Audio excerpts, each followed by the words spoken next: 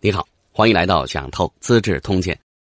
上一讲说过，周显王十七年，《资治通鉴》只交代了两句话：一是秦国大良造攻打魏国；二是诸侯联军围攻魏国重镇襄陵。上一讲已经谈过秦国攻打魏国、占据安邑的事情，这一讲就该谈谈联军围攻魏国襄陵的事情了。也许会有点恍惚，觉得这件事好像不久之前刚刚发生过似的。没错。在围魏救赵那一部分，确实提到了诸侯联军围攻襄陵，因为在《竹书纪年》的记载里，襄陵之围和桂林之败发生在同一年，也就是两年之前的周显王十六年。这一年里还发生了两件大事：一是宋国政变，权臣司成子罕废君自立；二是韩昭侯造访魏国。这些事情似乎有着千丝万缕的关系。可惜，以现有的史料，只能推测出一件事，那就是韩昭侯的造访直接影响到襄陵之围的结局。韩昭侯会见魏惠王，按说这两位国君应该分庭抗礼，但韩昭侯主动矮下一头，带着韩国总理申不害，执圭，哎，手握一种叫做圭的玉器来见魏惠王。这种姿态属于臣礼，把自己当成臣子，把魏惠王当成主君。韩昭侯为什么？无缘无故跑去向魏惠王示弱呢？这是一计。《战国策》记载了多年之后的一篇谏言。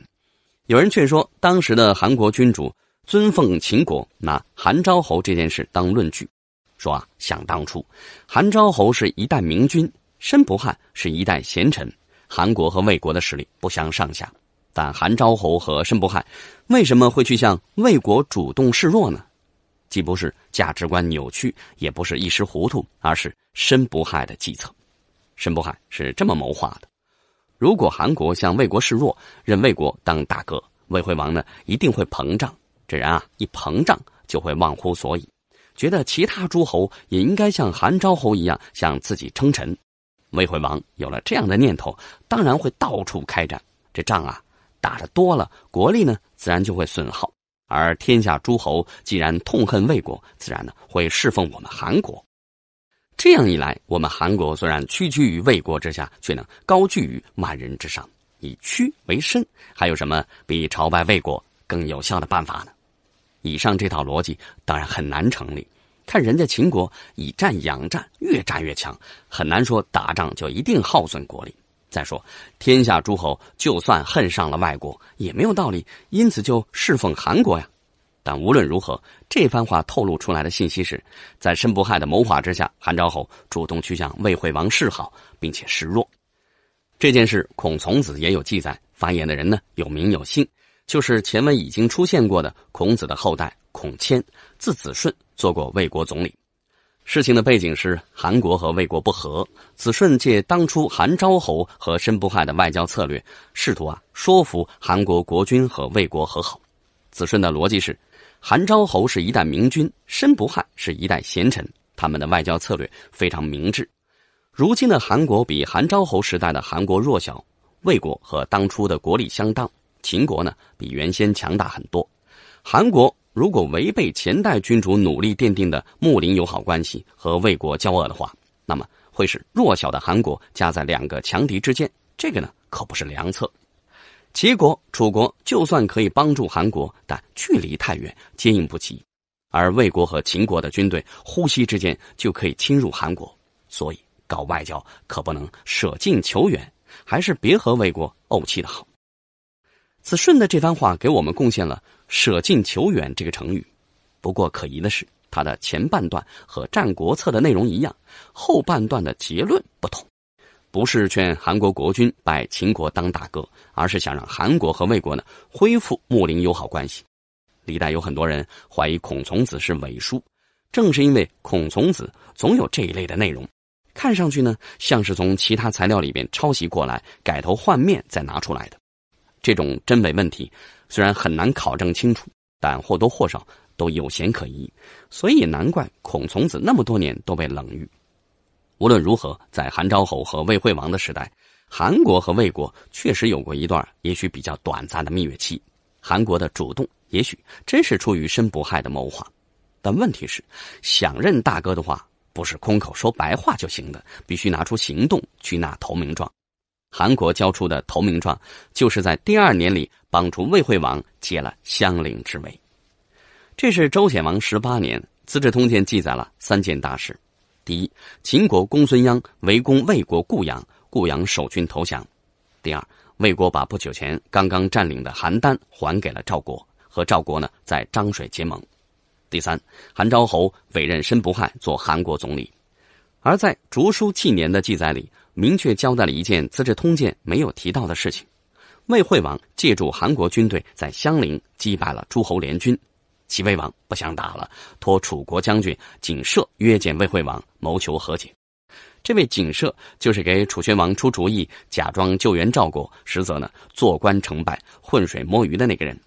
魏惠王当然愿意讲和，因为魏国现在感受到的压力主要来自西边的秦国。公孙鞅已经越过黄河，拿下了魏国的故都安邑，紧接着又拿下了固阳。既然秦国才是头号敌人，那就不要四处树敌了。以和为贵，就这样，魏国和齐国哎达成和解。毕竟梁子呢并没有结得太深，但是和赵国和解的难度就比较大了。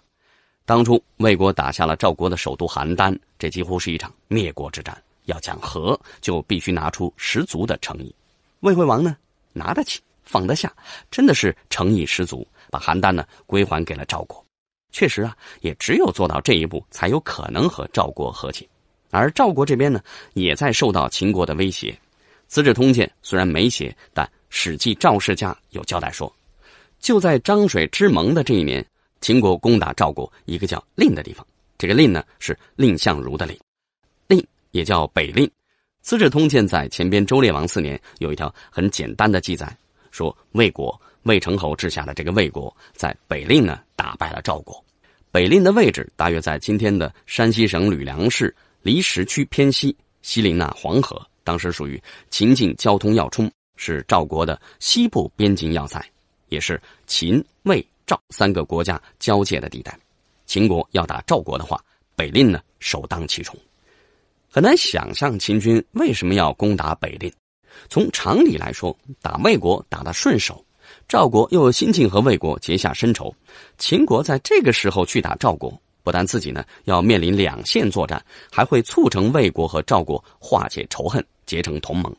如果非要想出某种解释的话，那大概就是秦国士兵斩首的热情太高，魏国境内呢一时又没有合适的目标可以进攻，秦军主帅只好就近找个地方打上一仗，再给大家一次计件领提成的机会。这是今天管理学也会面对的问题。有时候为了维持士气，只好去完成一些毫无必要的项目。我们很难确定，在秦国攻打北令的时候，赵国和魏国有没有达成和解。但无论如何，赵国在这一年里总应该察觉到了来自秦国的虎视眈眈。《吕氏春秋》还给出过一个说法，说赵国有一个叫唐尚的人，有和他资历相当的人做了史官。朋友因此认为唐尚也很想谋个史官来当，但唐尚说：“哇，并不是当不了史官，而是看不上这种小职位。”朋友只觉得唐上这话呢太酸。后来魏国围攻邯郸，唐上去搞外交，一番话呢让魏惠王撤了兵。朋友这才相信唐上当初说的并不是酸话。这个故事显然夸大其词，细节也和《史记·竹书纪年》很有出入。但赵国这边毕竟会推出一个外交官来沟通漳水之盟，人选也许就是唐上呢。赵国和魏国明明有达成和解的心，一拍即合。堂上，就算有再好的口才，也只不过是适逢其会罢了。任何一个人处在这个位置上，都可以立下这份功劳。但是，难就难在有没有这份眼力，看出这个时机，然后啊，主动请缨。最后，请你考虑一个问题：申不害给韩昭侯出的那个向魏惠王低头示好的主意，看上去很容易激怒韩昭侯，因为这时候的申不害对韩昭侯的偏好并不了解。如果真的激怒了韩昭侯，也许就会彻底断送自己的仕途，这是申不害绝对不想看到的。那么，申不害为什么有信心做出这样的提案呢？是冒险赌一把吗？如果你有什么想法，欢迎在留言区和大家分享。我们下一讲再见。